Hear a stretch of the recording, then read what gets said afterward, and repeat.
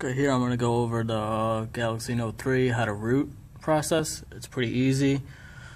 Make sure you have the uh, devices installed on the computer, USB installed, and uh, you should be good to go in Odin and uh, files that need to be done with this. Uh, I will upload the files and put it below the link on my YouTube, so look out for it. So just to show you that this is a Galaxy Note 3 for T-Mobile. Just showing you right here.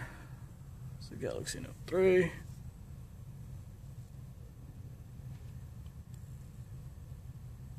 So I'm gonna go to my files,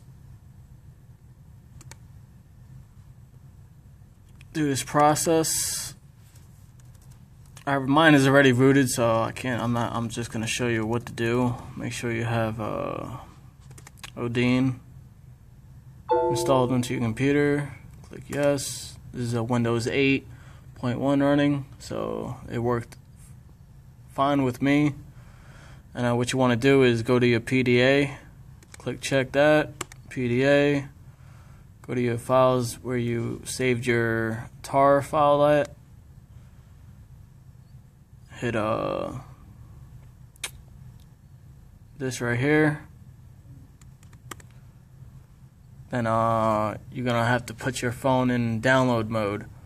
Uh, but before you do that, make sure your uh, phone is on USB debugging, which uh, you go first of all you're gonna have to go to uh, settings, general, about phone, and then you see where it says build number. You're gonna have to click that a couple of times until it says you're so you're close to being a developer, so, until you get the uh, settings for developer option. So make sure you do that, and then click on debugging, and then uh, once you do that, turn off your phone put your phone in download mode, which uh, how to do that is hold the power button down, home button, and volume down, and uh, should get you into download mode, and then click up to continue. And then once you do that, you should uh, click start once it reads your your com right here, and then I should say successfully successfully done. So uh, it'll make sure you're on an auto re reboot and uh, your phone will be rooted after it restarts.